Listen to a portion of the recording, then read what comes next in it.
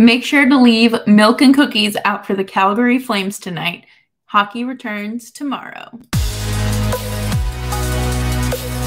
Your Locked On Flames, your daily podcast on the Calgary Flames. Part of the Locked On Podcast Network. Your team every day.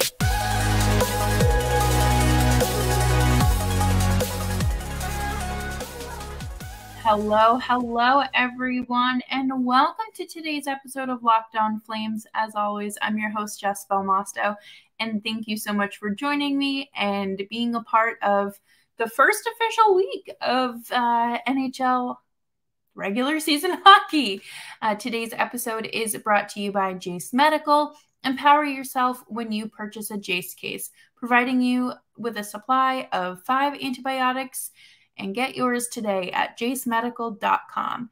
That's J A S E medical.com.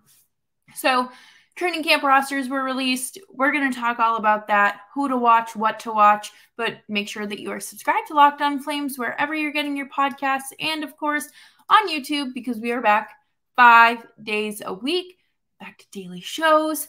I'm excited. I think this is going to be so much fun and hopefully the Flames will give us more than they gave us last year.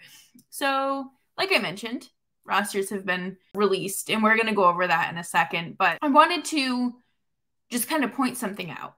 The Flames haven't signed anyone to a PTO, and that that's a good thing. Okay, because remember last year when these roster spots were kind of taken up by players that weren't super effective on the fourth line or really wherever Sutter decided to put them.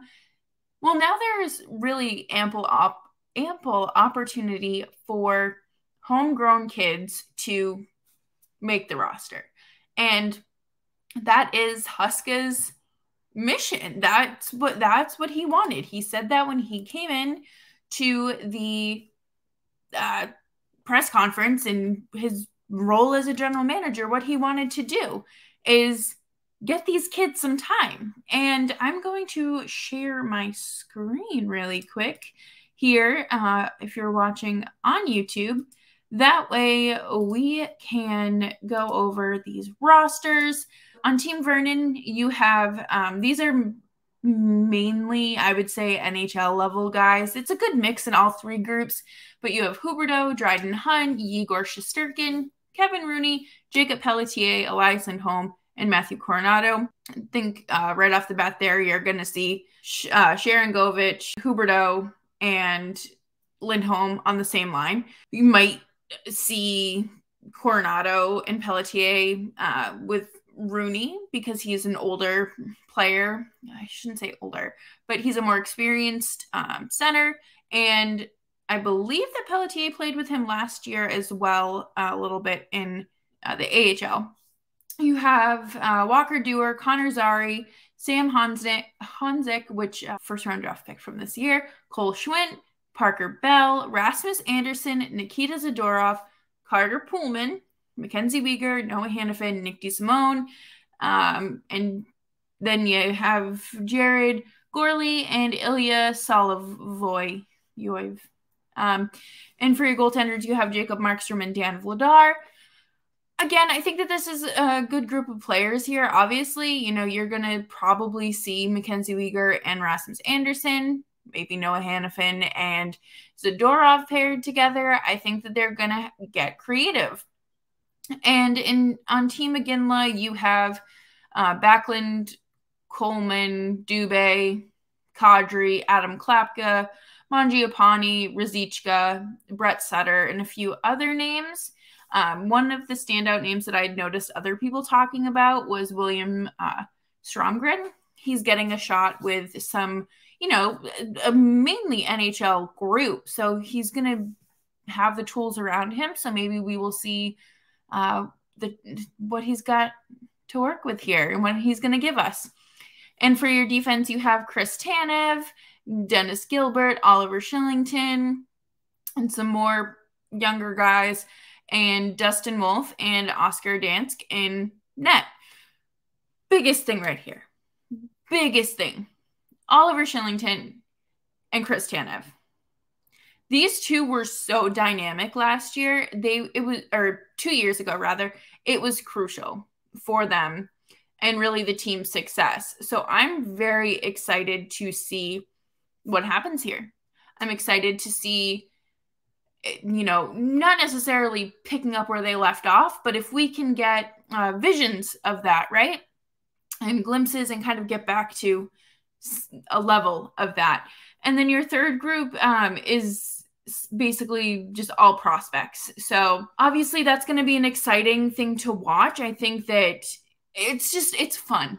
Hockey is back. The Flames are back. There's, you have every reason to look forward to this team the vibes have changed. Uh, it looks pretty promising in terms of young guys making the roster. And yeah, you aren't under the management of a horrible coach anymore. I think that that should really be enough. I'm I'm really excited to see. I wouldn't even say excited. I'm looking forward to interested in seeing how the dynamic of Huberdeau, Lindholm, and Sharangovich uh, work together. I'm very, again, last year I was super doubtful about Toffoli being on that top right right wing, and I was wrong. I was proven very wrong. So, I mean, maybe I'll be proven proven wrong again this year because anything, clearly, anything is possible. I'm really really glad to see Weegar and Andersson together. I think both of them together, as we've seen, were super uh, impactful and effective. I I really like the defensive group that the Flames have. You know, Hanifin, Zadorov, Weegar, Andersson, Kylington, and Tanev, and not Michael Stone. Almost set him out of heaven. but you know, you have the opportunity to lean on those guys, but you also have some guys like Dennis Gilbert in the AHL that you can lean on. And that's the fun of all of this. You don't know who might be playing in the lineup come January because, you know, someone's out a stomach bug. So they're finally getting a chance to crack the roster. But it's always nice to see these kids get like watch their hard work pay off.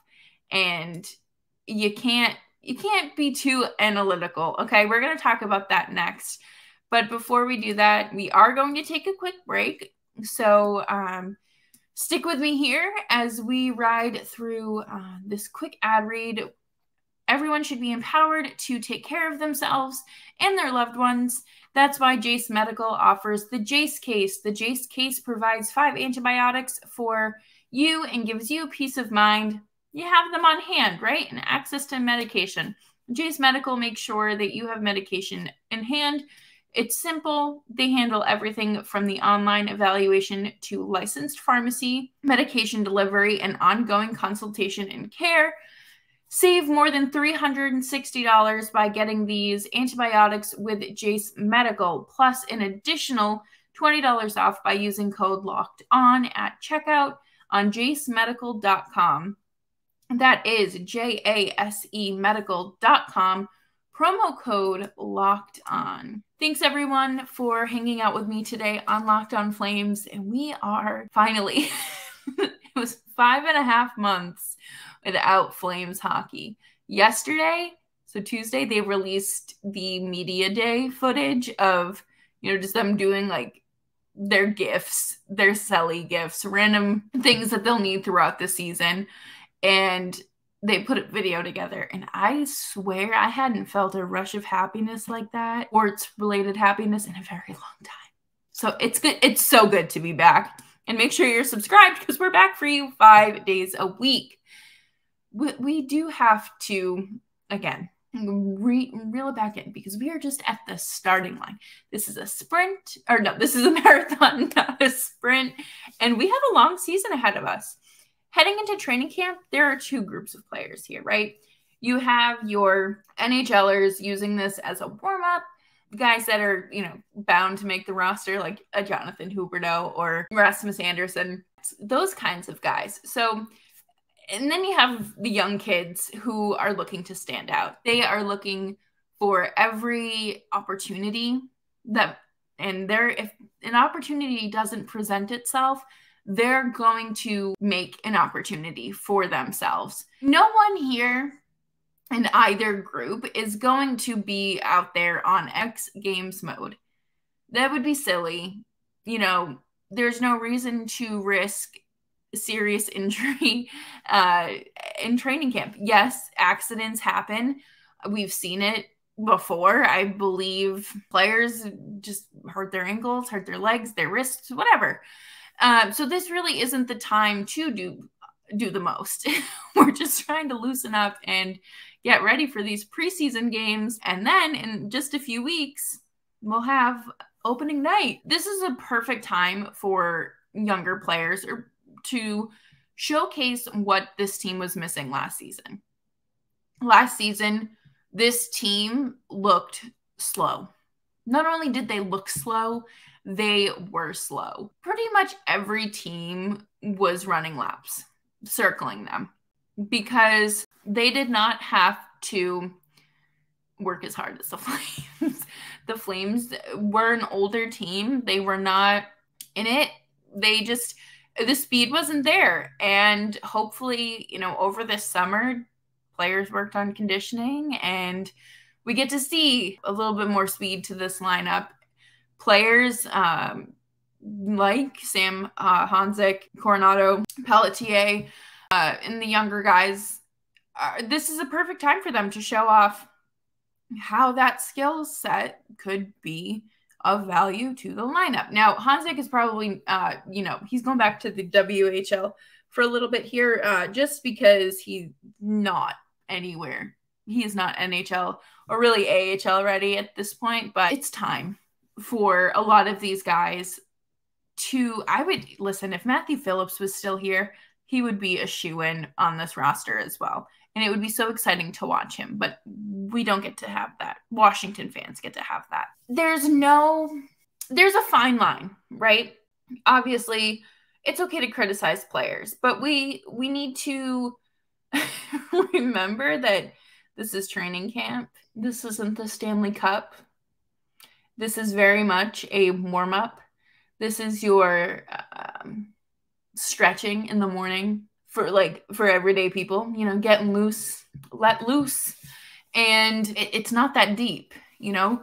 The players that go out there are and and do uh, like the most ridiculous stuff. Like that's just you aren't going to see that. And I think uh, Flames players know, especially the younger guys, that there's ways to make differences without being like a little pest in everyone's face. You know, you um you can show off your speed, you can show off your shooting, you can show off your goaltending skills, your defensive skills. You know, what do you bring to this lineup and how can you stand out? But at the same time, we don't have to overanalyze everything. There's no reason to overanalyze how this one player is moving a little slow compared to what they looked like um, in the middle of the season last year. Of course, they're going to look better in the middle of the season it's not the start of the season when things are getting going. And it's all about finding a rhythm. And we'll we'll get there. I think everyone, I mean Nick said it himself, everyone stinks a little bit. Everyone looks a little bad in training camp. Because again, you're finding that chemistry, you are finding your own game again. It, you're not playing in that local summer league that you just played in for 3 months so mistakes and sloppiness are bound to happen. You can't, I mean, I, oh my gosh, I remember a preseason game last year where the Flames went 0 for 6 on the power play against the Canucks. And you would have thought the Flames had lost game seven. I I don't it's the world is not ending, the sky isn't falling it's going to be okay. it's I promise, you know, you can absolutely uh, analyze players, right? Obviously, uh, put together a little scouting report and you know take note of what you like and what you you don't like because maybe the thing you don't like is something that a player irons out just let things happen. you aren't going to see midseason execution. Embrace the good, embrace the excitement, the anticipation, the unknown. Be excited because the Flames the Flames are back. Right? We at the end of the day, we are all Flames fans. Or if you're listening just to listen, hi. Um, we're all hockey fans. And we want this team to succeed. The most successful pieces are going to come out of training camp. Those successful pieces may shift in the season. So don't get all bent out of shape because one of these players starts the season with the Wranglers. It happens. Maybe they just need a few more months and then you know, some shifting will happen. A player gets traded. There's a spot. So opportunity there are plenty of opportunities and just don't write anything off yet. it's still very early. Coming up next, we are going to talk about uh, who to watch as we wrap up today's episode, the final episode before the Calgary Flames hit the ice again. And I want to take a quick break here to talk to you about FanDuel. Snap into action this NFL season with FanDuel, America's number one sports book. Right now, new customers get $200 in bonus bets guaranteed when you place a $5 bet. That is $200 in bonus bets, win or lose. If you've been thinking about joining FanDuel, there is no better time to get in on the action. The app is super easy to use. You can get instant payouts, and there's a wide range of betting options, including spreads, player props, over, under, and more. So visit fanduel.com slash locked on and kick off the NFL season. FanDuel, the official partner of the NFL. Thanks everyone for hanging out with me today as we wrap up the final day, training camp eve. Leave out the milk and cookies in your hockey bags for the Flames. It's it's time. A lot of we've all been looking forward to this. It was it was a long summer. Not a lot got done. Potentially things did get done. Maybe players made up their minds. We don't know. And that's uh, another not so fun part of this, right? You just you got to wait. It's the waiting game. I wanted to talk about the three players that three people that you should be watching. Probably saying, this is training camp. Why am I just, why am I not watching players? Why am I watching people? You'll see. Jakob Pelletier. I am so, so excited to see what he brings, not only to this camp, but wherever he is playing hockey this season. He brings the speed, he brings the good vibes, he brings the offense what more could you possibly want? And last season to me was an appetizer. You didn't get the full, not even an appetizer, it was like a flight, a flight of beer, a flight of Pelletier. You don't get, you didn't get a sampler. That there we go. another, comparison. But you you got small tastes of it. You weren't getting the full Jakob Pelletier experience because he was not on a line consistently with the, the caliber kind of the level of caliber players he needs to be playing with. And you know, I would say a solid middle six player and probably second line though. Like that's that's really where I see Jakob Pelletier. I think that it's going to be really great to watch how him and Huberdeau work together. I I love their dynamic. I think that the mentorship going on there, it's great. And I know that they have that Quebec connection as well.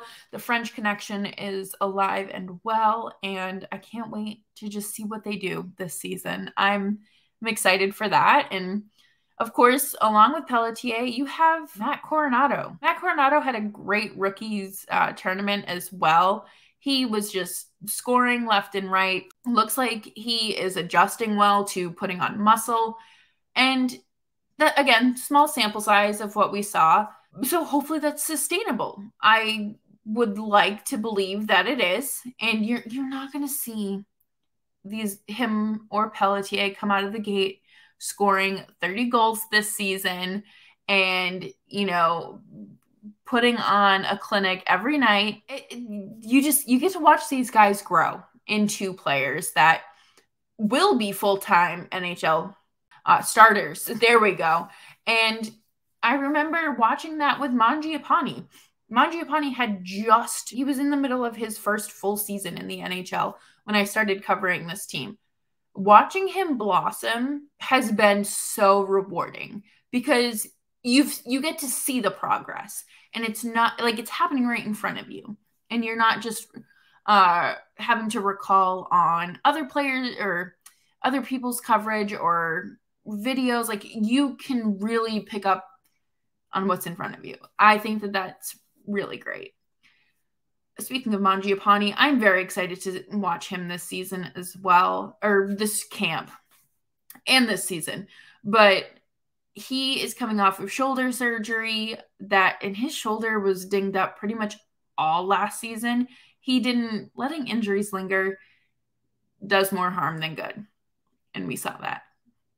But it sounds like he's fully healthy and ready to go. Um, I'm more than excited to see what he does this camp. How he how does he look? How does he fit out there? Um, it kind of looks like he bulked up a little bit, not too much, just a little bit. Super helpful, of course. And the last person that I'm very excited or uh, interested in watching is Ryan Huska. Why are you excited for a coach, Jess? Um, this is also a transition period for Ryan Huska. He obviously started as, or was, he's transitioning from the assistant coach to the head coach.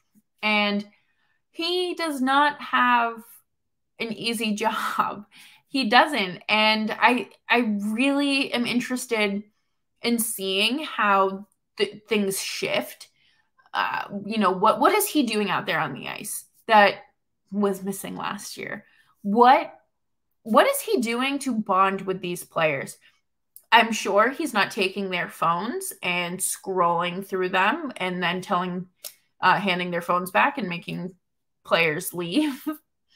Um, if I'm sure if that was happening or something of that caliber was happening, uh, players would have come forward by now. But I want to know how he's getting to know this group and how they're getting to know him on, you know, more of a head coach level. Because as an assistant coach, you know, you have a different role. You're still like an authority figure, a leader. But as the head coach, you're calling the shots. So if you want to bench uh, Dubé because he had a bad shift, there you go. Go double shift someone else or something, you know? I just want to see the difference in vibes.